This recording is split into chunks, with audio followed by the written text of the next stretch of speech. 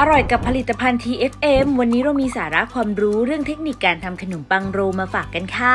ในปัจจุบันผลิตภัณฑ์ขนมอบ เช่น ขนมปัง ขนมเค้ก คุกกี้ เข้ามามีบทบาทในชีวิตประจำวันของเราอย่างมาก โดยเฉพาะขนมปัง เช่น ขนมปังหัวกะโหลก ขนมปังแซนด์วิช ขนมปังโรลซึ่งขนมปังโรลเป็นขนมปังหวานชนิดหนึ่งที่ขึ้นรูปโดยการม้วนเป็นท่อนกลม มีเนื้อนุ่ม สอดไส้ต่างๆ เช่น น้ำตาลทรายแดง ผสมซินนามอน เนยนมมะพร้าวอ่อน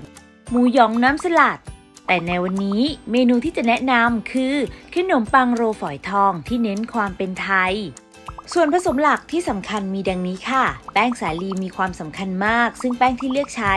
คือแป้งขนมปังตรายานอวกาศ แป้งชนิดนี้ได้จากการโม่ข้าวสาลีชนิดแข็งทำให้แป้งมีโปรตีนสูง และมีคุณสมบัติในการดูดซึมน้ำได้ดี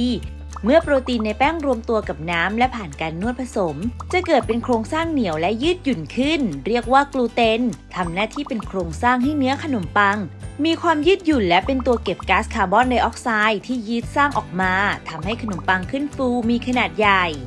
ยีสต์ช่วยขนมปังขึ้นฟู มีคุณสมบัติในการย่อยสลายน้ำตาล ให้กลายเป็นก๊าซคาร์บอนไดออกไซด์และแอลกอฮอล์ซึ่งก๊าซคาร์บอนไดออกไซด์เป็นปัจจัยที่ทำให้ขนมปังมีปริมาตรใหญ่ และแอลกอฮอล์ทำให้ขนมกลิ่นหอมน่ารับประทาน การเลือกซื้อยีสต์ควรเลือกที่เหมาะสมกับการใช้งาน น้ำตาลเป็นอาหารของยีสต์โดยทำให้เกิดการหมักขึ้น ปกติแล้วยีสต์จะย่อยน้ำตาลทรายซูโครสให้เป็นน้ำตาลกลูโคสและน้ำตาลฟรุกโตสก่อน จึงค่อยนำกลูโคสนั้นมาย่อยให้กลายเป็นก๊าซคาร์บอนไดออกไซด์ส่วนฟรุกโตสที่เหลือจะให้ความหวานแก่ขนมปังต่อไป นอกจากนี้น้ำตาลยังเป็นตัวดูดความชื้นทำให้ขนมปังมีความนุ่ม รวมทั้งช่วยให้เปลือกขนมปังมีสีน้ำตาลสวย เกลือ ในการทำขนมปังนิยมใช้เกลือเพียง 1-2%เท่านั้น เกลือในปริมาณที่เหมาะสมจะช่วยโครงสร้างของขนมปังแข็งแรง มีความเหนียวช่วยเน้นรสชาติหวานของขนมให้เด่นชัดขึ้น หากใส่เกลือในปริมาณที่มากไป เกลือจะชะลอการทำงานของยีสต์ให้ช้าลงไข่ไก่ ช่วยให้โครงสร้างของขนมปังดีขึ้น เพิ่มความนุ่มและทำให้ขนมปังมีสีสวย ช่วยเก็บรักษาความชุ่มชื้น และชะลอการแห้งของเนื้อขนมปัง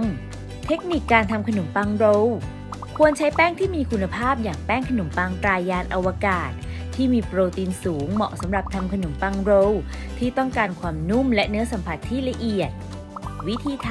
ำใส่แป้งขนมปังตรายานอวกาศลงในภาชนะ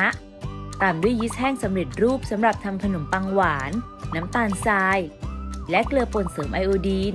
เปิดเครื่องตีพอเข้ากัน ใส่ไข่ไก่และน้ำเย็น ตีต่อจนก้อนโดเริ่มจับกันเป็นก้อน เติมเนยสดชนิดเค็ม ตีต่อประมาณ 15 นาที หรือจนกระทั่งโดเนียน ปิดเครื่องค่ะ ตัดแบ่งก้อนโดน้ำหนัก 300 กรัม รีดออกเป็นแผ่นสี่เหลี่ยมขนาดเท่าๆกัน โรยด้วยฝอยทองให้ทั่วทั้งชิ้น ม้วนเป็นท่อนกลม ตอนม้วนค่อยๆ ม้วนแล้วดันให้แน่นเพื่อไม่ให้มีโพรงอากาศ เมื่อทำการหั่นจะมีทรงที่สวย และทำให้ฝอยทองติดกับเนื้อขนมปัง จากนั้นบีบตะเข็บให้สนิท หั่นเป็นชิ้น วางเรียงในถาดที่เตรียมไว้ พักจนขึ้นเป็น2เท่า การพักโดให้ขึ้นเป็น2เท่า จะทำให้เนื้อขนมปังนั้นมีความนุ่ม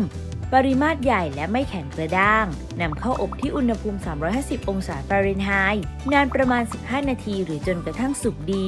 จัดใส่ภาชนะ ราดหน้าด้วยไอซิ่งนมสด ตกแต่งด้วยฝอยทองกรอบ พร้อมเสิร์ฟค่ะ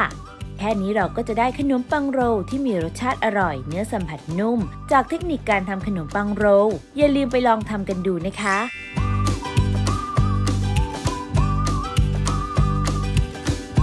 คุณผู้ชมสามารถติดตามความรู้อีกมากมายได้ที่ Facebook อุตสาหกรรมแป้งข้าวสาลีไทย TFM